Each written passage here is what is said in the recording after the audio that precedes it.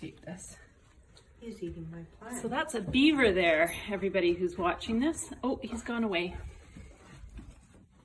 Yeah, he's been eating the flowers. Oh, look, there he is. There goes the beaver. come a long way, Erica. I know. I know. So we're guessing this beaver must be from Cootes Paradise, which is down the hill. Mm-hmm. And so this is quite a climb for a little there- beaver. there's a Oh, hummingbird there he goes. He's going out. He may be living in